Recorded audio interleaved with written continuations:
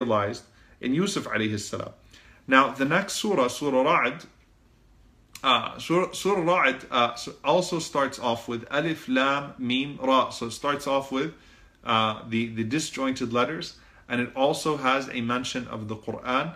And uh, the, the first verse of Surah, Ra'd actually tells us what the surah is about. Uh, the first and the last verse of Surah Ra'd are actually completely connected. So Allah subhanahu wa ta'ala says, Tilka ayatul kitab.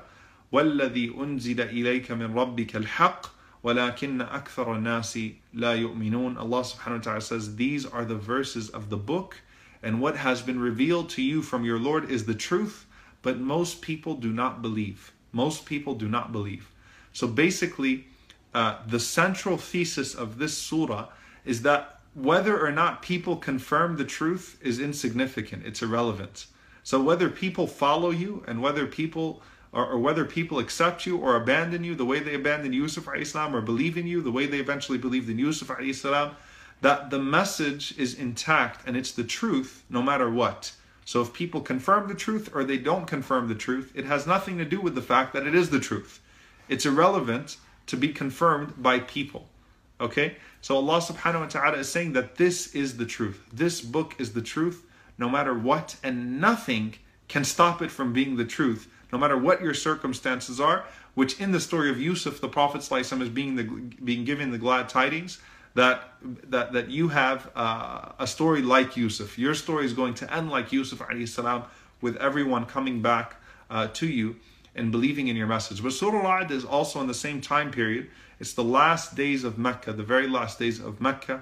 And Allah subhanahu wa ta'ala says in verse 5, وَإِن تَعْجَبْ فعجب قولهم أئذا كنا ترابا أئنا لفي خلق جديد they, they said, and if you are astonished, O Muhammad, then astonishing is their saying, when we are dust, will we indeed be brought into a new creation? Once we're dirt, will we indeed be resurrected?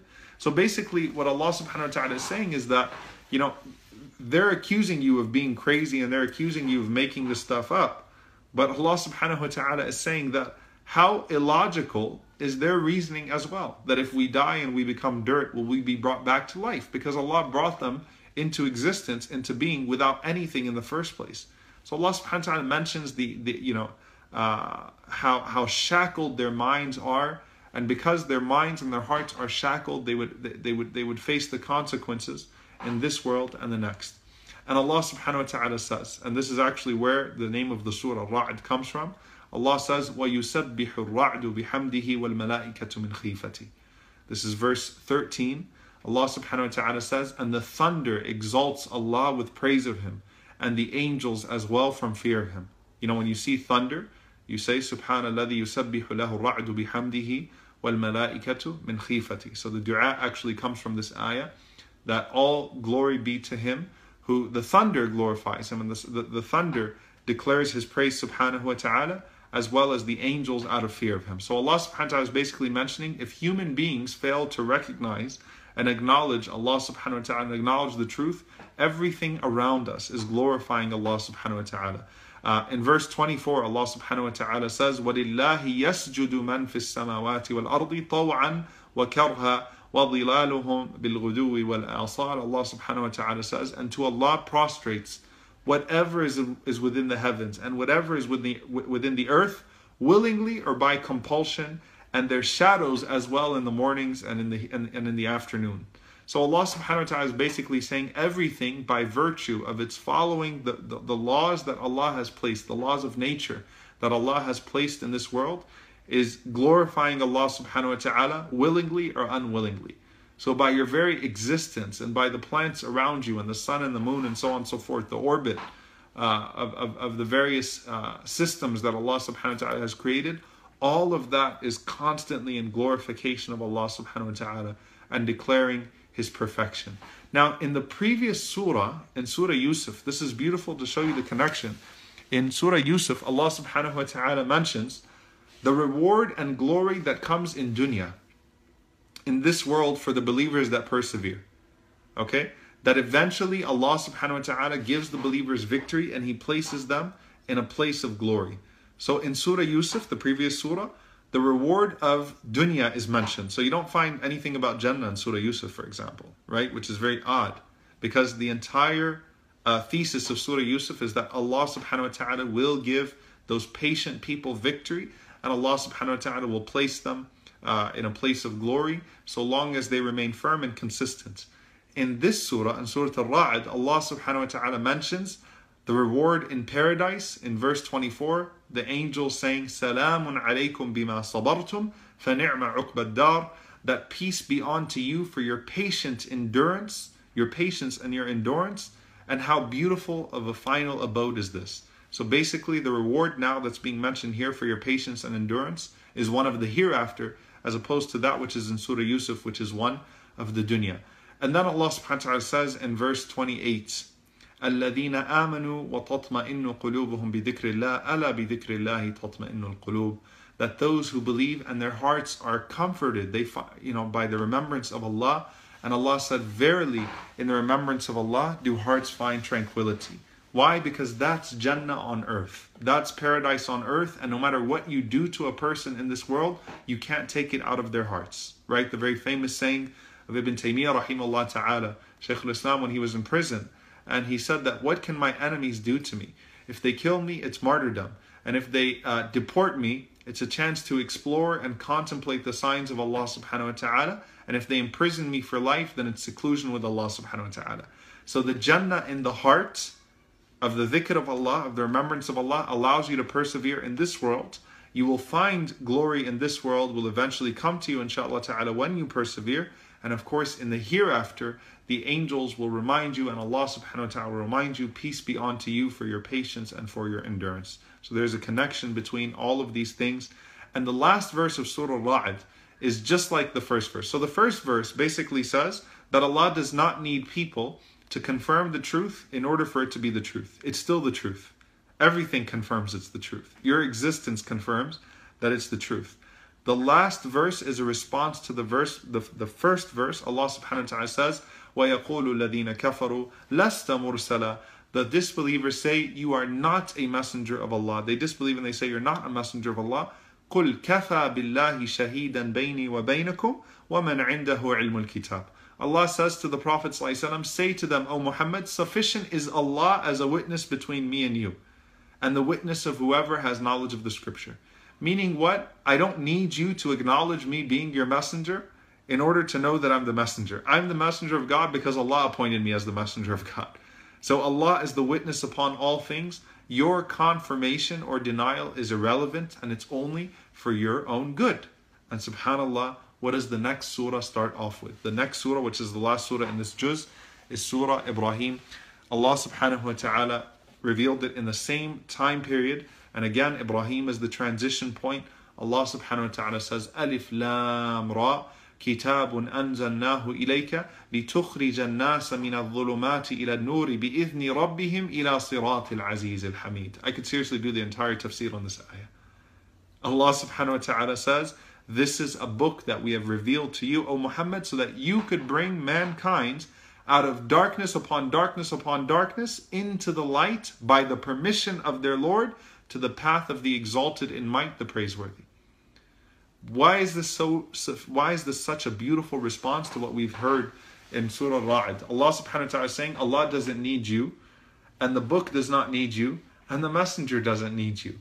And here Allah Subhanahu wa Taala is saying, and by the way, the purpose of this message is to take you from darkness to light, which can only be done by the permission of your Lord to the path of the all exalted in might and the always praiseworthy. Subhanallah. So Allah subhanahu wa ta'ala responds that if you want to be guided to the path of Al Aziz Al Hamid, the path of the one who's always exalted in might and always praiseworthy, then it is for your own benefit and for your own good. Allah or the Messenger do not need you. It is your loss if you turn away, and it is your success if you turn to Allah subhanahu wa ta'ala. So whoever turns to Al Aziz, فهو عزيز بعزة الله. Whoever turns to the one who's all honorable, all exalted in might, then he becomes honorable by the honor of Allah subhanahu wa ta'ala. And whoever turns to Al Hamid, the one who is praiseworthy, فَهُوَ حَمِيدٌ بِحَمْدِ then, then he will be praised by the praiseworthiness of Allah subhanahu wa ta'ala. So this is what is good for you. And in verse 4, Allah subhanahu wa ta'ala says, وَمَا أَرْسَلْنَا مِن رَسُولٍ إِلَّا بِلِسَانِ قَوْمِهِ لِيُبَيِّنَ لَهُمْ فَيُضِلُّ اللَّهُ مَن يَشَاءُ وَيَهْدِي مَن يَشَاءُ وهو العزيز الحكيم. And we did not send a messenger except speaking in the language of his people to state things clearly for them. So basically, Allah is saying, I gave you a chance. The people of Mecca were given a chance. You had a prophet from amongst yourselves who spoke your language, who you've known for 40 years to be the most honest and trustworthy and truthful person, most generous and beloved person to you. And he made things clear to you. And we don't punish a nation unless we send a messenger that speaks to the people in their language. And again, through that, Allah guides who He wills and leads astray who He wills. And He remains exalted in might and exalted in His wisdom, subhanahu wa ta'ala. And Allah mentions in the context of Musa alayhi salam speaking to Fir'aun, وَإِذْ تَأَذَّنَ رَبُّكُمْ لَإِن شَكَرْتُمْ لَأَزِيدَنَّكُمْ وَلَإِن كَفَرْتُمْ إِنَّ عَذَابِي لَشَدِيدٌ And when your Lord made the announcement, your Lord proclaimed that if you are grateful, I will increase you, and if you are ungrateful, if you disbelieve, then the punishment of Allah subhanahu wa ta'ala is severe. Notice in this ayah, Allah subhanahu wa ta'ala said, لَإِن شَكَرْتُمْ لَأَزِيدَنَّكُمْ If you're grateful, I will definitely increase you. And he said, if you're not grateful, my punishment is severe. He didn't say, لَأُعَذِّبَنَّكُمْ I will punish you. Because you might repent or Allah subhanahu wa ta'ala might show mercy on you and forgive you so you would not be punished. But the point here is that Allah subhanahu wa ta'ala is mentioning it is for your own good that you show gratitude to Allah and that you believe in Allah. It's for your interest in this world. You would be increased in this world like Yusuf alayhi salam, and you would be increased like the people of Jannah are mentioned in Surah Al-Ra'd in the, in the darajat, in the degrees of Al-Jannah. So it's for your own good. And if you are grateful, Allah subhanahu wa ta'ala will always increase you. And Musa alayhi salam says, In takfuru antum wa man fil ardi jami'an fa inna Allah ghaniyun hamid. If you turn away, you and everyone else on the face of the earth, then Allah subhanahu wa ta'ala is free of need and always pra- praiseworthy. So again, it's the same context that Allah does not need you, you need Allah subhanahu wa ta'ala. Now, if you go to verse 21, Allah mentions the human shaitan. Okay?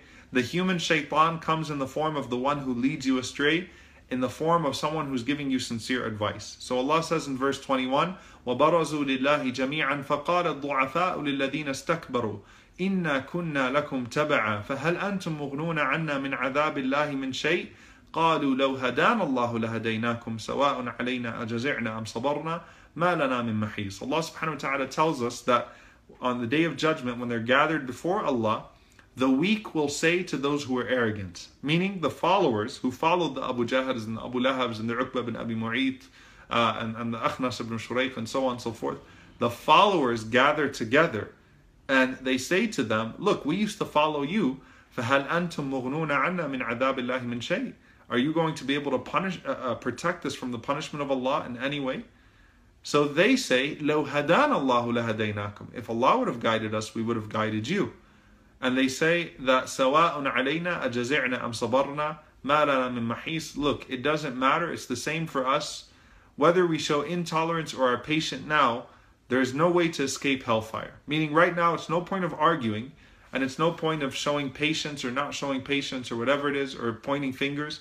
We're all going to be punished now. There is no escape. So basically, what this is referring to is that the human shaitan, shaitan al ins, that leads you astray, right? That teaches you what you should not be taught, that convinces you that it's okay to stand opposed to divine revelation and so on and so forth. That human shaitan will turn his back on you on the day of judgment. And the actual shaitan, the next verse, verse 22, وقال الشيطان لما قضي الأمر إن الله وعدكم وعد الحق ووعدتكم فأخلفتكم وما كان لي عليكم من سلطان إلا أن دعوتكم فاستجبتم لي فلا تلوموني ولوموا أنفسكم ما أنا بمصرخكم وما أنتم بمصرخي إني كفرت بما أشركتموني من قبل إن الظالمين أعد إن الظالمين لهم عذاب أليم Allah subhanahu wa ta'ala gives us the speech that shaitan will give on the day of judgment. So the Prophet mentioned that just as the people of hellfire are about to enter into hellfire, May Allah protect you and all of us from you and I and all of us from uh, from the punishment of hellfire. Shaitan stands up and gives a speech and says, Listen, Allah promised you, I promised you, I broke my promise, Allah subhanahu wa ta'ala did not. But I did not have authority over you except that I called you and you responded to me. So don't blame me, blame yourselves. I'm not going to be able to come to your aid, you will not be able to come to my aid. Inni kafartu bima ashraktumuni min qabl. I deny my association uh, or the association that you gave me with Allah subhanahu wa ta'ala before, and he says, Inna dhalimina lahum adabun alim, and verily the wrongdoers, all of us are now going to have a painful punishment. So Allah mentions the human shaitan and the jinn and the actual shaitan and how they would disassociate from you on the day of judgment. So don't let them turn you away from uh, the goodness that Allah subhanahu wa ta'ala has mentioned. And that's why right after that, Allah subhanahu wa ta'ala says, ألم ترى كيف ضرب الله مثلا كلمة طيبة كشجرة طيبة أصلها ثابت وفرعها في السماء تؤتي أكلها كل حين بإذن ربها Allah mentions the tree of Iman, the tree of faith. And Allah subhanahu wa ta'ala mentions how firm it is in the heart of the believers. That the that La ilaha illallah is like a firm tree. It's like a palm tree in your heart. It has a strong foundation. Asluha thabit wa far'uha fis sama. And its branches are high in the sky and it's constantly producing fruit. What that means is shaitan might sway you temporarily, but you will bend, but you won't break. You will never break. So if you have the foundation of Iman, al-qawl al-thabit, okay, La ilaha illallah strong in your heart, then neither human jinn or shaitan, uh, neither human shayateen or the actual shayateen, the jinn shayateen, will be able to lead you astray from Allah subhanahu wa ta'ala. And finally, Ibrahim alayhi salam. وإذ قال إبراهيم رب اجعل هذا البلد آمنا واجنبني وبني أن نعبد الأصنام Surah Yusuf, Allah mentioned the dream of Yusuf alayhi salam. This is the dream of Ibrahim alayhi salam. The, the, the dream of Ibrahim alayhi salam is that Mecca become a place of tawheed, that it become the center of monotheism, that the home that he and his son would construct be a place that always testifies to the oneness of Allah subhanahu wa ta'ala. So Allah subhanahu wa ta'ala says, you know, remember when Ibrahim alayhi salam made dua and he says, Rabbi jnubni wa uh, balada amina. Oh Allah, make this place secure and protect me and my sons from worshipping idols. So this is after the city has been established. So in Surah Al-Baqarah, the city has not yet been established. And that's why it says, Rabbi j'al hadha balada. Okay? Uh, as opposed to هَذَا الْبَلَد. Al-Balad makes it, defin- makes it definitive, so it's already there. So the city's, you know, the city's been established. Ibrahim has built the Kaaba with his son Ismail, and he's making dua, Oh Allah, make this city secure and keep me and my sons away from worshipping idols. So the people of Mecca are betraying the legacy of, of, of the father Ibrahim alayhi They're betraying what he wanted from the city of Mecca. Subhanallah, Ibrahim wanted Mecca to be a place of monotheism, and they are kicking out his descendant, the prophet that he wished to see in the Prophet ﷺ because he's calling them to keep Mecca as a as a city of uh, you know as a city that is free from idol worship. So basically, Ibrahim Islam has a dream for Mecca, just like Yusuf Islam was given a dream. The Prophet ﷺ will be the fulfillment of that dream of Ibrahim salam to keep this place of Mecca a place of Tawheed. And Allah subhanahu wa ta'ala mentions um, رَبِّ إِنَّهُنَّ أَضْلَلْنَ كَثِيرًا مِنَ النَّاسِ Oh Allah, they have led many astray from the people. And he says, فَمَنْ تَبِعَنِي فَإِنَّهُ مِنِّي So whoever follows me, then he is of me. So you're not of Ibrahim because you have his blood, because you're of his lineage. You're of Ibrahim when you follow the message of, of Ibrahim and uphold the covenant of Ibrahim السلام, of Abraham, peace be upon him. So فَمَنْ تَبِعَنِي فَإِنَّهُ مِنِّي وَمَنْ عَصَانِي فَإِنَّكَ غَفُورٌ رَحِيمٌ Whoever follows me is of me, and whoever disobeys me, you are forgiving and merciful, so they're not from me, O Allah. ربي إني أسكنت من ذريتي بواد غير ذي زرع عند بيتك المحرم ربنا ليقيموا الصلاة فاجعل أفئدة من الناس تهوي إليهم وارزقهم من الثمرات لعلهم يشكرون Allah subhanahu wa ta'ala says, Oh Allah, look, I've settled my descendants in an uncultivated valley near your sacred house. I'm settling my wife and my son uh, Ismail in the middle of nowhere in an abandoned desert, but it's near your sacred house, O Allah, so that they could establish the prayer. So make the hearts of the people inclined toward them and provide for them from the fruit so that they may be grateful. So Ibrahim Islam has a dream that Mecca be a place of Tawheed and Salah, monotheism and prayer.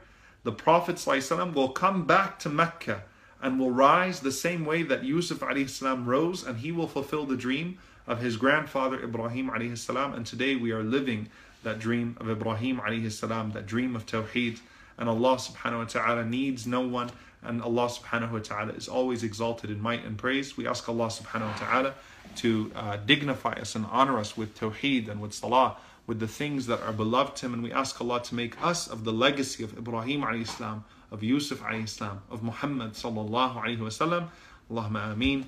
Jazakumullah khairan to you all. Inshallah ta'ala, I will see you tomorrow for uh, Juz 14. Please do share the video, inshallah ta'ala, and get people involved in the study. Take your notes, share your notes in the comments if you get a chance, inshallah. Uh, wassalamu alaikum wa rahmatullahi wa barakatuh.